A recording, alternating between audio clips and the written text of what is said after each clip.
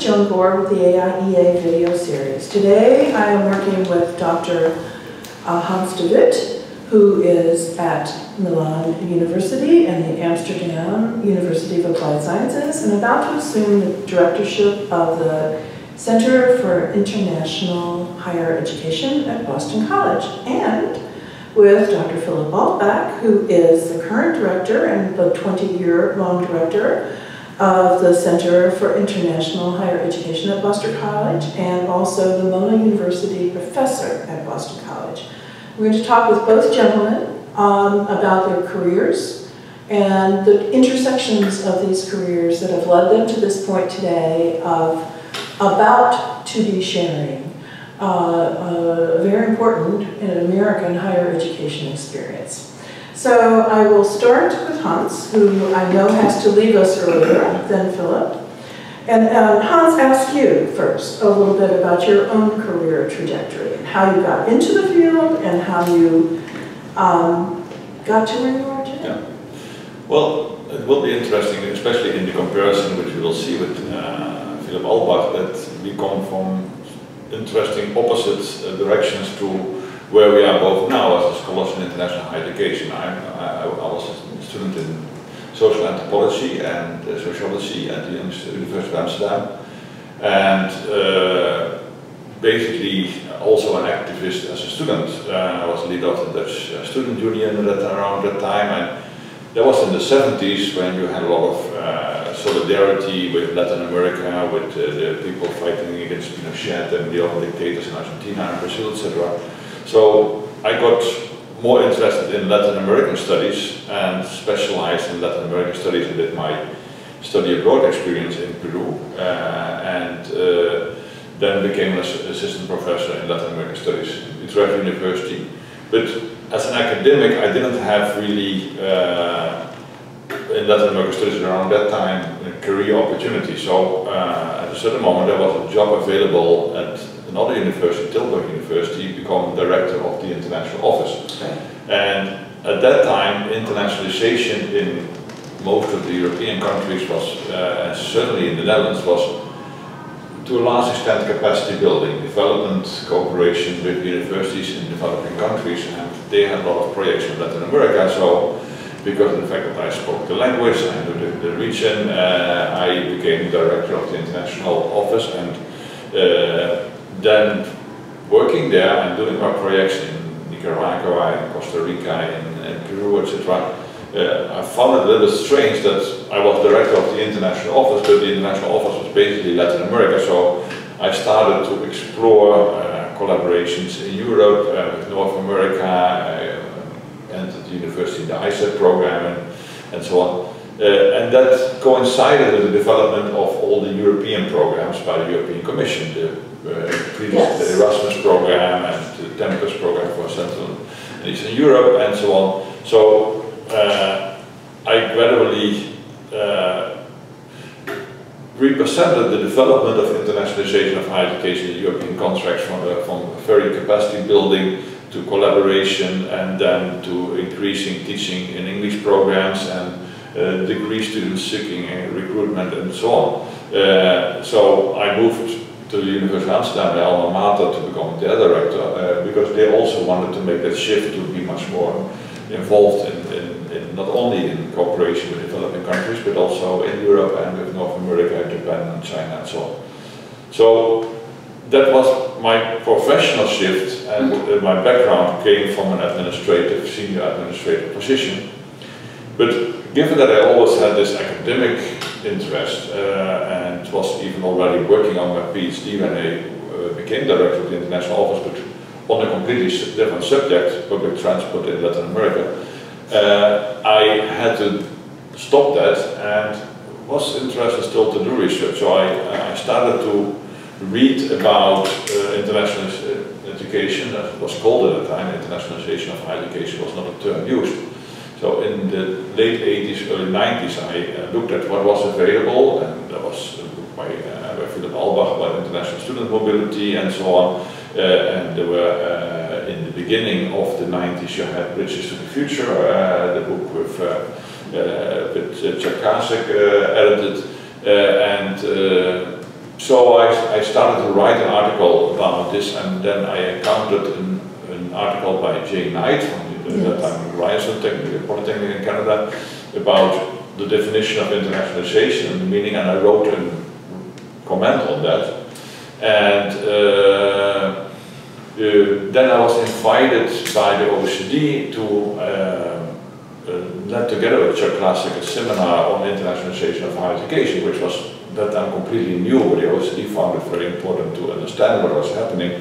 So we organized a, seminar and they asked Chuck Klasek and me to write a book about it, and then to edit a book about it, and then Chuck Klasek unfortunately died, passed away, so I was alone working on that book and asked my president to become and uh, to get a sabbatical to work on it. So, uh, and since we just had established an exchange agreement with Boston College, uh, the director at that time said, well, why don't you come have your sabbatical uh, at Boston College and uh, then you are in a very international higher education environment with all the universities in Boston, etc. and it will be uh, good for you.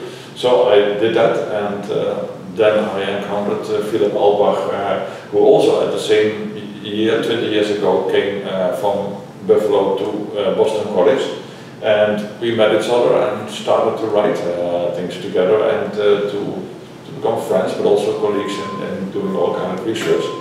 So gradually I moved from a practitioner and even a vice president for international affairs at the University of Amsterdam to focus much more on the scholarly side and uh, uh, which really is now my field, but I bring in that combination of uh, practice and research in, in, in, my experience. So I, I know how things have evolved. I have a long history of uh, more than 35 years in international education.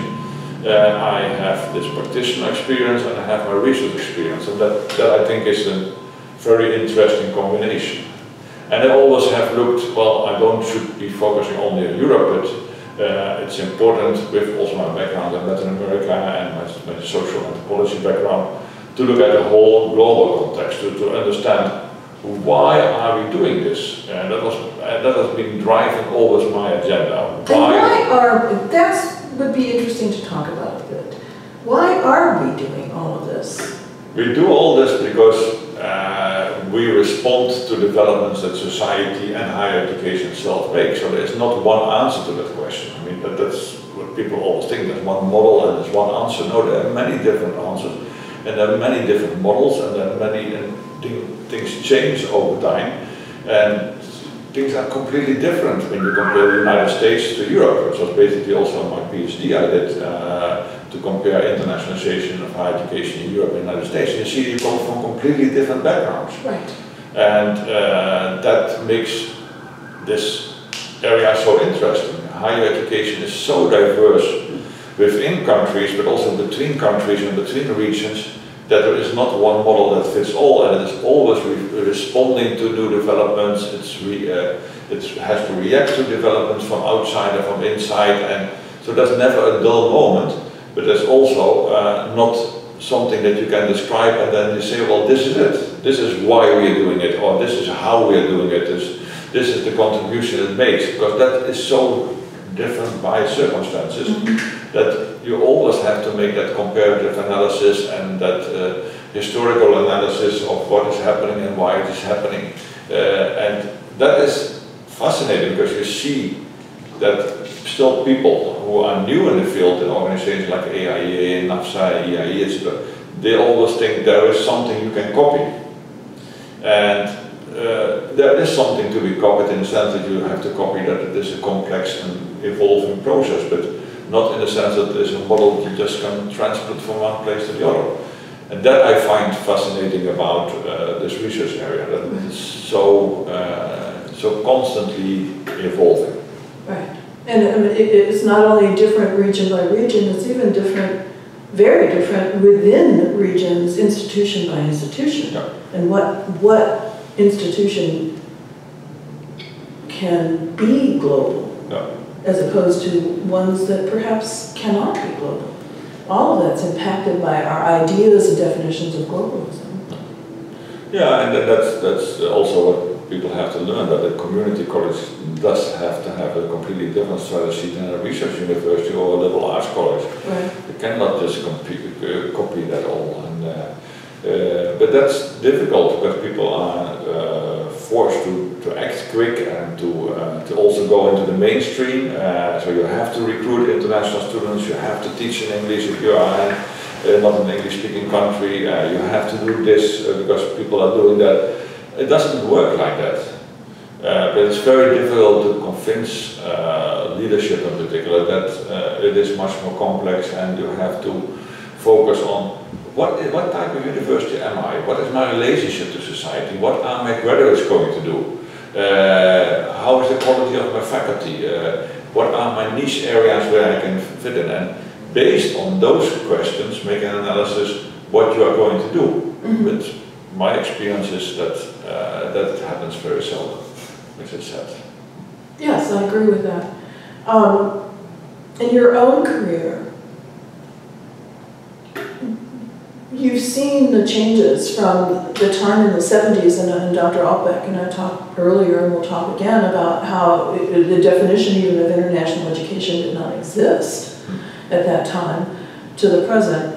Um, your career trajectory has been the trajectory of the emergence of the idea of international and higher education, as has Dr. Altbach's within the American higher education community.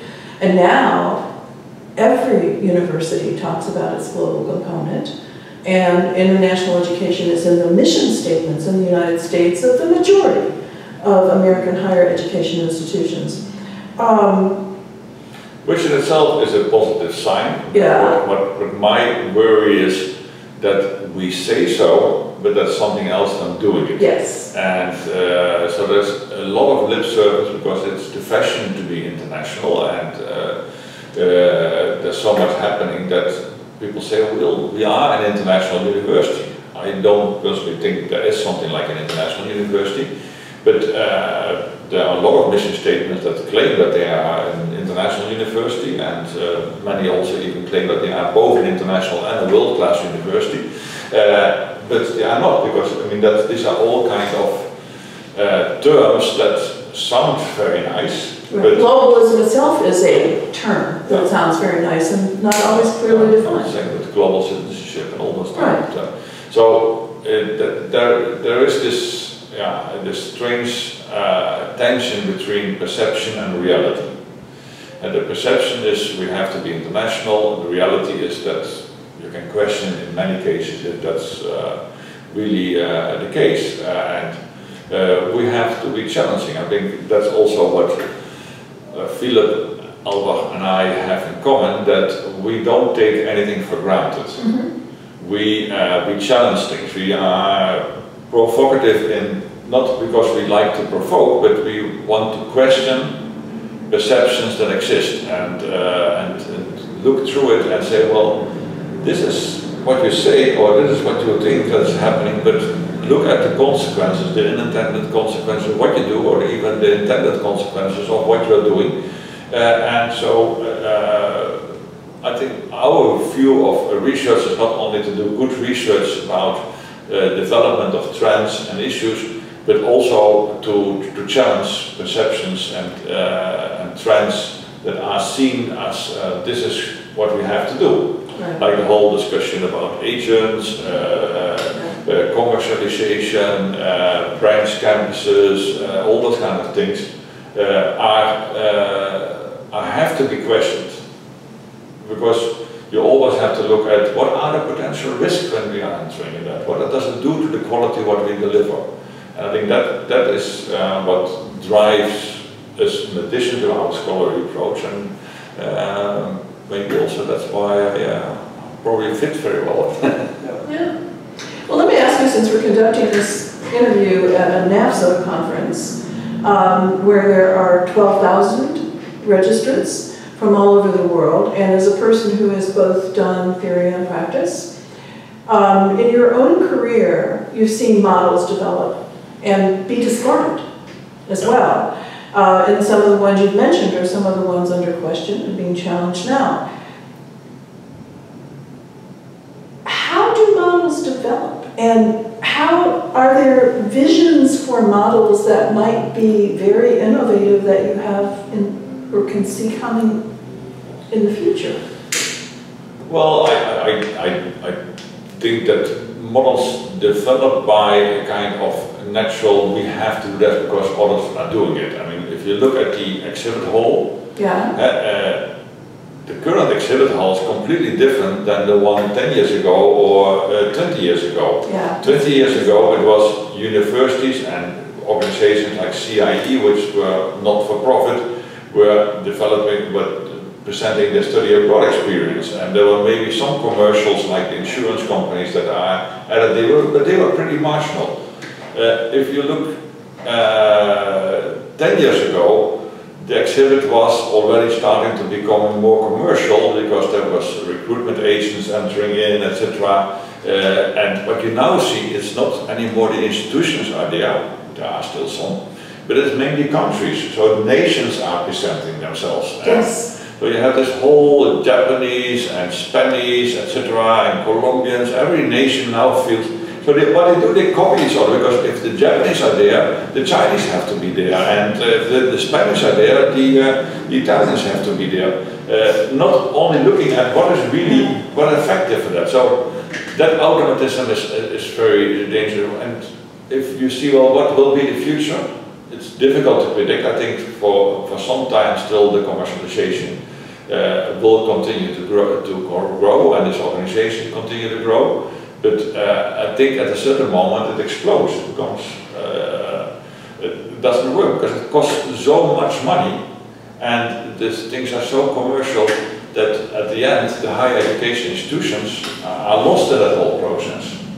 Uh, and, uh, and if you then add to that the whole digital development, right, uh, which also threatens that kind of higher education institution as a that's really interesting, Yeah. that the commercialism can actually triumph in some ways currently because of funding that higher education institutions don't have necessarily to Yeah. compete. Yeah, that's, that's exactly what is happening, and that's the sad thing. And if you look at, at, um, uh, uh, again, who's, who has uh, uh, exhibits uh, Right, at NAFSA, uh, and national policies, um, you know, the, I'm sorry to say, the English-speaking countries, uh, uh, as nations, less the United States in this respect, have as their main goals commercial, commercial foci, I mean, to make money from international. well, and to be as fair as possible, I also observe higher education institutions with essentially commercial arms. Oh, yeah. in international education, so they're not uh, perhaps being, they're perhaps being forced into that direction is simply to find the funding because international education has never been highly funded within American higher education. So it, it is a very complex situation where commercial input is apparently having a huge impact. And you're quite worried about it, both of you. Yeah, Yes. uh, and uh, we, we have to um, we have to understand that uh, that there are high risks that if that continues to develop in the way it develops now. Right, I mean, I'm, I'm not against something that is, uh, has a commercial aspect because I know that money has to be developed. But if it is only in it for the money, then it becomes very dangerous because then the quality is in danger. right. And internationalization of higher education has focused on improving the quality of what we're doing. Right. Otherwise, that's, I mean, that- if you're asking the question, why are we, should we be in it, then it's exactly because it has to enhance the quality of our education, the quality of our research, the quality of our contribution to society. That has to drive the agenda. But that's not currently the most important drive. So how do higher education institutions cope in this environment then in order to not only maintain the commitment to quality as education, but also to grow this whole field? Is it, what, how, what do they do?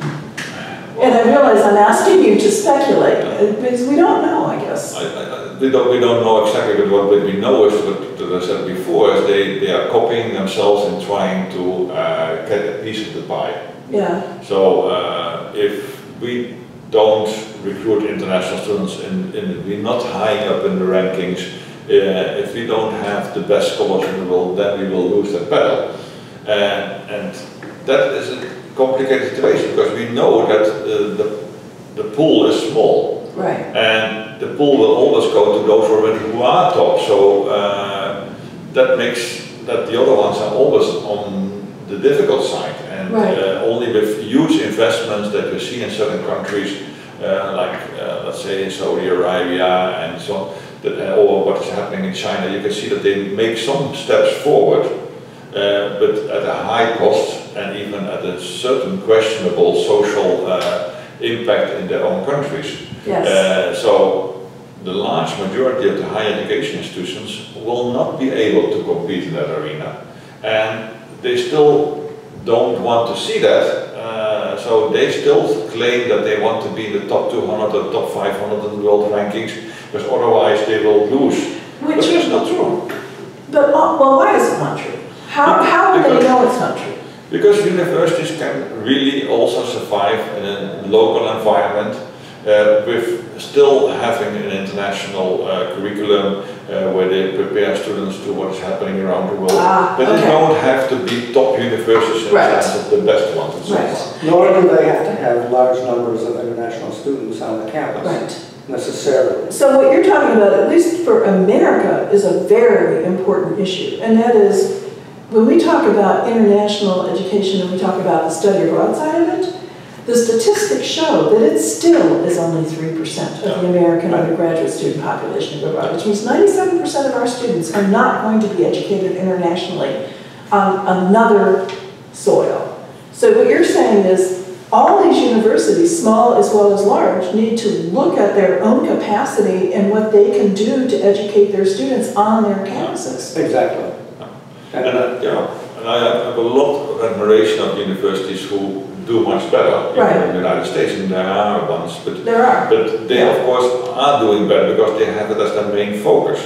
Uh, they, there's some universities, smaller, in general, smaller colleges who have uh, over 50% of their students going abroad, which is fine. That's so small. They're so small, and uh, but we know that the, all the efforts uh, will not increase uh, more than something like 20%, uh, like the Europeans has as a target. Uh, Germany claims that they have one third of the students going abroad. Now they want to move that to 50%. I think it's all unrealistic. But also you can question, is that needed? Yeah. I mean, uh, why would study abroad by, by, by nature be the perfect solution? I mean, we have seen, and you know that as well, a lot of study abroad experience have not really changed students, although they claim that it was a life-changing experience, but in many cases it has not been. yeah. Especially not in the ghetto kind of study abroad programs that the United States is doing. And these increasingly shorter term study abroad, which is now the most popular. yeah, which is, not much is gained from. from- So let me bring this back to, the- you have to leave, can I ask one last question? Yeah, yeah, And, and yeah. and then we'll move this to Dr. Altbach, and because he can bring us back to this point.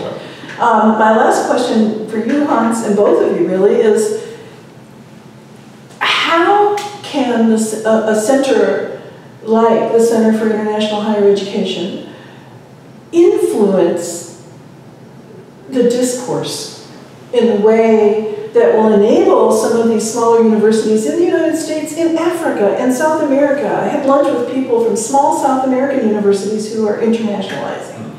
Um, how can your center contribute to a discourse that helps open up minds to this broader definition of what international might be? Well, I think, and that's building on what it already does, is uh, by our publications, by our research projects, by our uh, creating a new critical mass of leadership, by our doctoral program, where we are going now to develop in what I would call a little bit arrogant, maybe a real international higher education master program, because um, we have done a study about what is there on international higher education masters and certificate program. Most of them are very weak because they don't have a clear focus and a clear concept on what really is international higher education. We want, we want to create a next generation of people Okay. that are really uh, uh, understanding that uh, uh, it is a complex uh, world that we live in and you have to be focused on different things than only the commercial part of, the, of, of, what is happening in higher education. So, on the one hand, through our publications, international higher education, the books uh, that there are, the doctoral program and the master program, we hope in a modest way, but still really create a contribution to that critical analysis of what is going on. That there's an, at least another voice than the mainstream voice of Okay. we have to be commercial. Right. And that's a perfect way to allow you to leave for another appointment that you have. I feel a little bit like the David Letterman show. Thank you for being a guest. I appreciate it very much. And I'm going to continue conversation with uh, Dr. Altbach because his experience is what has brought us to this point. So thank you, Hans, and Thank we will continue this conversation. And I will begin our part of the conversation by saying, when we had a chance to talk earlier, I told you that um, in my own research and teaching, I have the image of the uh, Center for International Higher Education as this fabulous multi-columned building that was huge because of the huge role the center has played in the development of the kind of research Hans is now talking about taking um, a- another step with in order to influence where we go in this country. So, and you told me that that was not true. So tell me a little bit about how you got to create this center um, and what it is, and then we'll talk about how it's grown. Okay. Um, I have, uh, wh- when I uh, uh, joined the faculty at Boston College 20 years ago, Right, uh, having experienced uh, building a, different but somewhat similar center at the State University of New York in Buffalo, right. um, I uh, said to the BC president, would you mind if I developed a little center?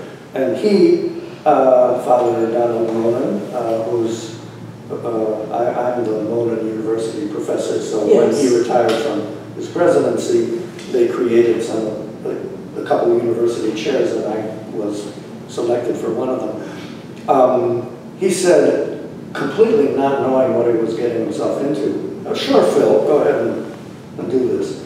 Um, which we did with very little funding from BC, mainly the funds that were available from this chair, uh, and with uh, 15 years of support, again fairly modest in the broader scheme of things, support from the Ford Foundation Right, um, uh, which uh, the, the particular grants officer who was who was committed to building capacity in America about international higher education. mm-hmm, Uh, so he funded us. He funded a center at, the- at SUNY Albany on private higher education. Uh, he funded some work at the University of Washington about uh, doctoral study internationally and so on. And all of these fields, we've never had, in America anyway, I would say in the world, any kind of kind of international global vision about their areas um, received some, some support. In our case, uh, our broader interest was rather wider, I mean, because of my broader interest. Um, but we've always been uh, quite small. Uh, right, uh, basically me and a couple of graduate students uh, and a part-time administrative uh, person, and in recent years, a part-time associate director who did some of the teaching. right, So we were never able to build up a, a, large program. We, we did educate, um, uh, I myself have supervised over the years, because I actually- I recently counted them up, at, uh, at the three universities that I've taught at, um, about 75 PhDs. which is in this field a big number of You people. know, many, many of, some have passed away. Um, many have gone into administration. Uh, uh, uh, I know one or two who have become travel agents. Uh, one was a radio talk show host on a Chinese radio station Wow, in Los Angeles. and so, it's a very diverse group. but a significant number have stayed in the field and work at the World Bank. They are professors in different places. and Yes, So on. So, and this is what Ford wanted us to do. right, And of course, I was completely sym- sympathetic to sort of build, to institutionalize a field. And I know that you understand what that means because when we were talking earlier, you mentioned that you taught was perhaps was the first course in the world in, in international education. Yeah. Well, I, I, that I wouldn't claim. On international higher education. No, I'm sorry, international higher education. I Maybe, apologize. maybe. Right. I haven't researched this. Right. but I think it may be true. Right, Uh, and certainly did what, several of the earlier books about right, this field. And uh, it helps tremendously uh, to be plowing a field which is having nothing, you know, entering a new field. You don't have to be, uh, you know, it ain't rocket science. you know. Yeah, but you have to be able to manage resources and bring talent together in some way, sometimes without money. I mean, I- as I- I said earlier, that um, when I taught, I- it was the Center for International Higher Education to which I turned for articles, resources, um, books, journal articles by people like Hans and Jean Jane Knight, and others Yeah. that um, really gave content to the field. So that is a creative act. Yes, uh, absolutely. And we've had that as our mission from the beginning. Right. We, um, we fit well into what Ford was trying to do. Right. Because my, my vision also Right, was to build a field, right, to bring, uh, to bring scholars together, because we've done a number of, of um, uh, theme-based research projects in the early years with Ford funding, but we've also done them with funding from the Toyota Foundation uh, and some others. Some colleagues used to say, we only accepted money from automobile companies. Uh, That was a joke. Um, um, On a variety of fields that we thought were important. Right. Or sometimes that the funder thought was important, that we agreed with. right, Um, And in each case, we had a common methodology of bringing together researchers from different countries right, to work together on a theme. right, And that also built the community and it built a literature. Mhm. So all of these things were very much in my mind as we proceeded with our work over the years. The other thing that was much in my mind from the first day was to be a critical voice. And we started um, uh, our, it's more than a newsletter, but less, but not quite a journal, International Higher Education right, right, which is now in five different languages. right, Um, and uh, we're, we celebrated our 20th anniversary with that, Right. um, our last issue.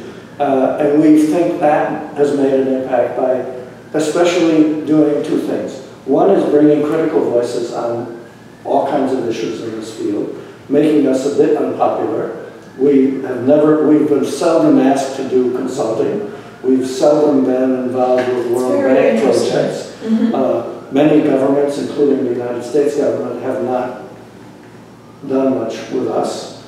And again, you know, for who knows why. Um, But we have valued our, you know, critical stance on a lot of these, um, a lot of these sort of hot button issues that have come up over time. Recently on agents and recruiters, for example, but lots of other things in the, in the past. So we wanted to build up that kind of capacity right, uh, and to um, and to publish material that was short enough so that it, uh, policymakers within universities would actually Actually read read it, yeah, uh, and- but long enough to make a point. right, Uh, and that, if I do say so, was a very good model. It worked. You Right. know, The thousand word article. yes, And that's what we've published over these years, and um, w- they're fairly widely cited, because we follow this, of course, Um, and uh, I think have made some, some sort of impact. Having said that, however, I never, I, I have never been, been under the uh, illusion uh, that either I or the center would shape or have any significant impact on anything at all. We- Mhm. We've done this because we felt it as a You were passionate about it, responsibility, And we care. yeah. And, uh, But it has had influence, at least it's had, there's no question that people who have written and published in connection with you or uh, done research in connection with you, have helped to shape and define something that we might now call a field, although I think it's still a, du- uh, not dubious, but um, It's a work that's in not the word. progress. Yeah. It's, it's a work in progress. It's not a defined field in the sense of a, this is sociology. And in fact, it's an interdisciplinary. Yeah, well, I've always, I mean, and there's been some debates uh, in my home field of comparative education, Right, uh, where I did my uh, PhD a long time ago, um, uh, whether comparative education wa- was a discipline or a, or a field. Right. And I've always been on the field side. Yeah. Not- It wasn't an internet and, and uh, higher education as a broad area and international higher education as a small part of that right, uh, area is certainly not a discipline. right. It's certainly a field, It's, right. As you said, it's yeah. an interdisciplinary undertaking. So do you see much difference now uh, from when you not only started your career in general after your PhD, but once you started the center in Boston? Do you see much difference in how international higher education is taught in American higher education? Well, the big difference is it's taught Yes, you're in a small number of places. And it's still a small number of And it's a very small number of places. But uh, that number is more than the fingers of one hand, Right, which uh, at the time we started out, absolutely right, was the case. Um, Partly because there's a market for it, um, and Hans will be capitalizing more on that at the center um, than I did, Uh, and I think that's a very good thing. Uh, uh, And because the field has kind of emerged as a field over time, just as you pointed out, over time.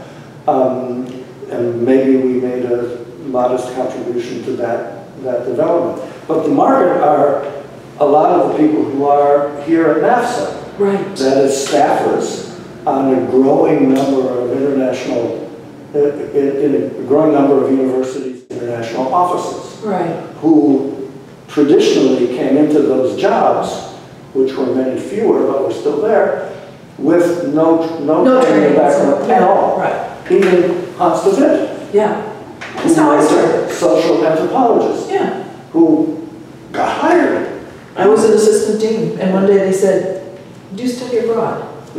Yeah, And uh, that, that area has gotten slightly more uh, uh, professionalized, Yeah. Put it that way. yeah, And um, I think that's an important development, so that, you know, the young people who come into this field actually have some sense that there's a field, right, and have some sense of what's happening in the world of higher education Right. uh, around, uh, globally.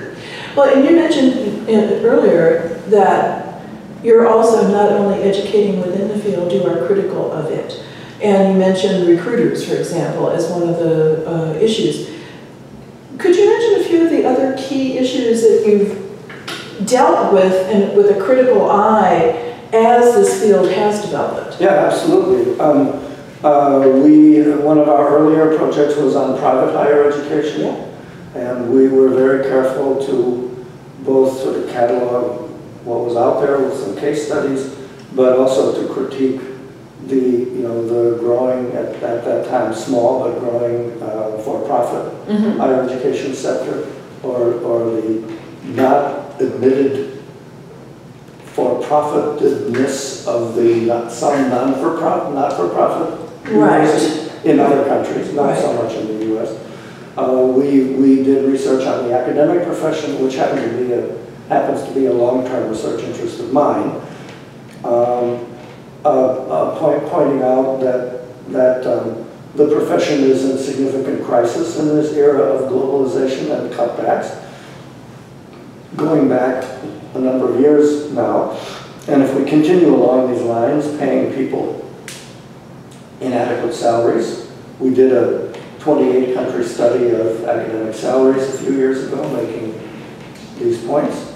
Um, So we, we've uh, uh, done things on what we think are, uh, are um, key, key crisis issues within the area of our competence. Mhm. Because We've never done anything on uh, funding Mhm. because uh, I am not an economist and we have not had economist colleagues to work Right. with on this, uh, on these areas. So we try to stick to something we know about, Right, as well as something we think is important to, right. to uh, highlight. And that really brings us to what um, we were talking about with Hans toward the end of that conversation. And that is, we've come a long way, both in theory and in practice, and in the development of theory and a theoretical foundation for understanding some of this. But where are we going? And that's what I know Hans will be dealing with. I know it's what you have been dealing with. Um, and I wonder about your own thoughts and observations about the future. Um, I think I, I uh, quite agree with everything that Hans said uh, Mhm. about that, actually. Uh, The good thing is that uh, globalization has, uh, has insisted that higher education institutions be part of that globalization Just the matter of its existence. Exactly. That there's a need for students to be taught how to function in the global economy. Right. There's much more mobility uh, in terms of jobs uh, at all levels. Um, But what's, what's frequently uh, not focused on in these questions, both in Europe and, and the US, about immigration, is that a lot of the immigration actually is um, highly educated immigration Yes, uh, who are not coming in illegally, right. but who are playing very important roles uh, in, in economies all around the world. Um, so that, that, that's the, the, good, the good part. Uh, the more problematic part is the over-commercialization, which she was talking about, um, of what's going on in international higher education, stimulated in significant part by funding cutbacks Right, in the universities, especially the pub, well, not, I sh- the, the public ones, absolutely, uh, in, not in all countries, but in most, and the, the, the private sector uh, growth in higher education. Private higher education is the fastest growing part Yes. of higher ed worldwide. Right. People don't sort of recognize that. right, Uh, and and um, most of that uh, private growth is in what the economists call demand-absorbing institutions mhm, of relatively or very low quality, and many of them for profit. right, And I think that's deeply problematical as part of the kind of global environment. And if you go, you know, over to the, uh, the booths at NAFSA, a lot of those guys are there, um, both the institutions and the, the agents and the recruiters and so on that serve those institutions and others. right. So um, there is the good and the bad that is functioning in, in, this, in this world, which is getting more and more complicated and more and more diverse and so on.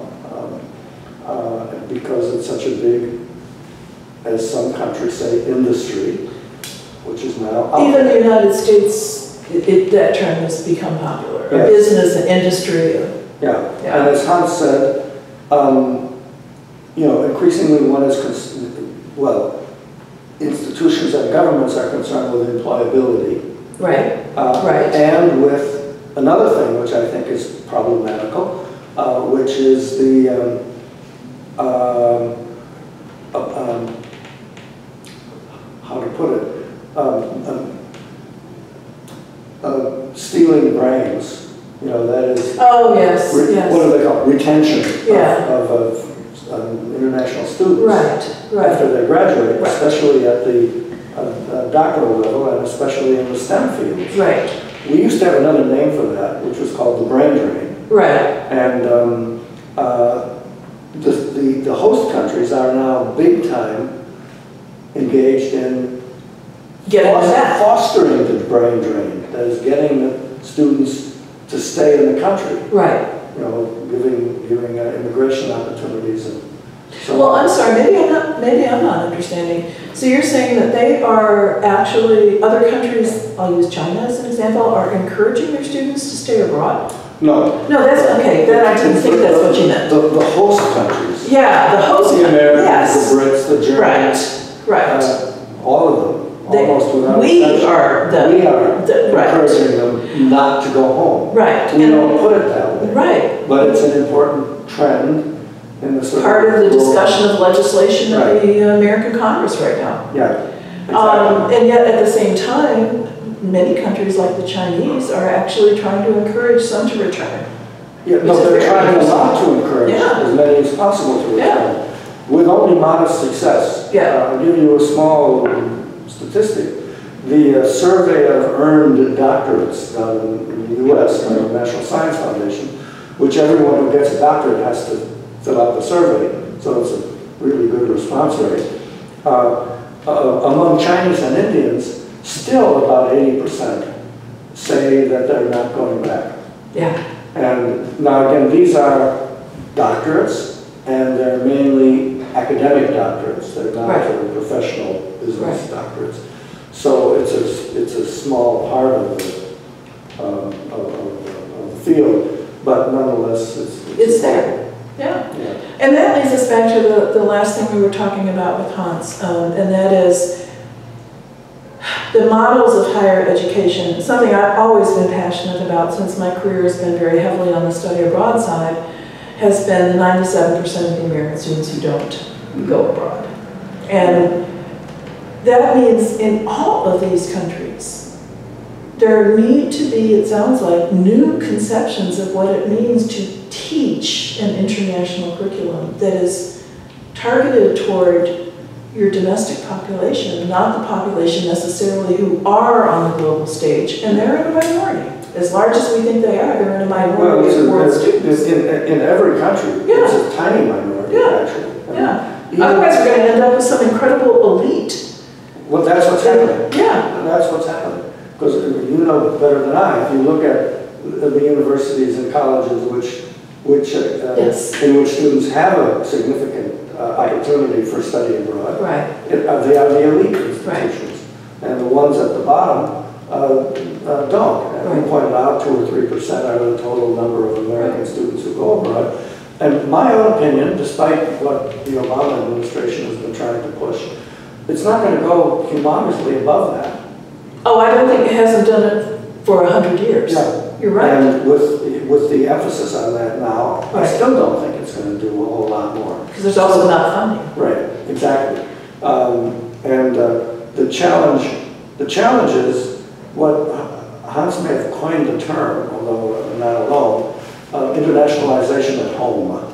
Yes, You know, that yes, yes, that is a term, yes. To yes. provide uh, international experiences on the home campus for American students who are not going to be able to study abroad so that they can function as effectively as possible in the global knowledge economy. And, and I think that, talking about a model, could become a model for some other countries as well. Absolutely. Domestic, Yes. international. Because if you look at China, if you look at Russia, you know, other large countries, um, uh, significant numbers go abroad, but very small percentages of the total. And that's what, except in the EU, some of the EU countries, Right. with fairly stable populations and with heavily, heavy funding from the EU Right. itself, they do a better job of providing Right, right. within Europe, not outside very much. Uh, So I mean, I think that, and again, if you listen to NAFSA and you look at the, at the uh, booths there, you'll find very little discussion of these issues which we're discussing there. Oh, I know. And that to me is one of the biggest disappointments of our field. Right, I agree with that. And, and that is, brings me to my last question of you, and that is you've had, the center has been critical in, in these kinds of discussions and in bringing to the forefront the people who are doing the research in them. And I know that you are coming to the end of your directorship of the center, though certainly not of your career in Boston College. Um, and you will be continuing to do research yourself. Yes. What are some of the things you yourself, A, look back on with satisfaction, and B, look forward to and beginning to, and continuing to examine? Well, um, I mentioned earlier that uh, I'm, I think one of the few people in the field who has spent uh, his or her entire career um, You're the only one I know. As a scholar Right, uh, even when the field didn't exist. right, Because, you know, I did my PhD in the mid-1960s right, uh, and have been a professor this whole time. right, um, always focusing on different aspects of, of this. I, I was not aware that Hans de Wit started his career partly out of student, uh, student involvement and student Right. activism. So did I. Oh, really? That is what, uh, what I, I was an undergraduate in the, in the 60s Mm-hmm. uh, and was much involved in the anti-Vietnam Right, movement uh, then. And as part of that, uh, that involvement actually had a couple chances to go overseas. oh, really? As part of your To- To represent the American left student movement Oh, at yes. some international meetings. So I mean, that was a kind of a shaping experience Right. uh, for me. Uh, And I happened to, I wrote my doctoral dissertation on student politics in small part because I was involved in student politics Right, before. I mean, I- right, when I was doing the research, I wasn't. Um, and, uh, you know, so I've been involved, you know, I've been uh, sort of engaged with university reform movements and, and so on. But I have found, um, you know, uh, as an academic, I've been able to choose my own research topics, often mostly not being funded or anything like that right, except through the, through my university Right. salary and the commitment in research universities that you sort of publish or perish, right, uh, which I was, uh, I never had a problem with that. I believed my, in publishing, and so I did it. right. Um, uh, But it would be, I think a big accomplishment has been International Higher Education, our publication, which has really helped um, educate people, as I said before, about themes. And also, one of our commitments was to focus on developing countries and countries that didn't receive much attention. So I always had my antenna up for somebody writing about Estonia, or Botswana, or something that you don't see covered either in the regular press or even in the you know, professional Right. journals. Right, So that was interesting. As to the future, um, things seem to come up uh, which are interesting, and uh, I, I have no kind of master plan. For the last uh, five years, we've had a very close relationship with the uh, with the Higher School of Economics in Moscow. mm-hmm, With- And we've done several cooperative research projects with most of the funding come from, coming from them. mm-hmm. Um, That's interesting. yeah, that's, the- that was the source of our funding for our 28-country faculty Wow. study. Uh, We're recently, we we recently completed one on the rankings, Mhm. uh, rankings of mid-range universities, not of the elites, which Right, is an interesting contribution uh, to that field. Uh, We're just starting one on, on uh, um, how international faculty are appointed and dealt with uh, in universities uh, around the world. right, And um, these research topics stem from interests of HSE in Moscow, uh, but resonate very much with us. right. Uh, So we've been very willing to, to do this. Um, And our colleagues there are really excellent and, and uh, very good people to work with. And we have always the same methodology, which I've used for many years, which makes them happy. Right. Is we, we put together teams of researchers from different countries to do cases around a nicely developed theme and Mhm. methodology. Uh, and then we meet together and we do a book from it. Right, So it it builds community, uh, it produces good work, uh, and it helps the field along. yes, So uh, yes, I, over the years, I've probably done 15 different projects using that same methodology with different funding sources. which brings great perspectives together That's the to make a contribution to all of these nations. Right, and we always like, we always try very hard to get countries which are not, you know, not just Western Europe and North America uh, involved. And of course now with the Russian involvement, we always are careful to involve former Soviet Union countries Right. as well as Russia uh, and Central and Eastern Europe, which again, I'm, uh, although it's their interest, it resonates very well with our sort of long-term Right. focus. Right, right. Well, I think that um, you've earned whatever partial retirement this might be, uh, and whatever uh, extra time it might give you, but it sounds like you have an agenda that will fill that extra time very quickly. Yeah, uh, yes, thank you very much.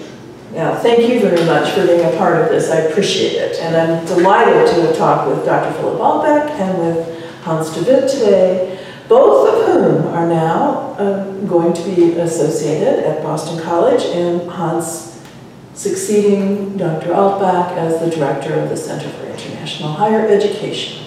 And of course, Hans, Hans's coming to Boston College is doubling our size. That's right, another column in my imagination. Yes. That's wonderful.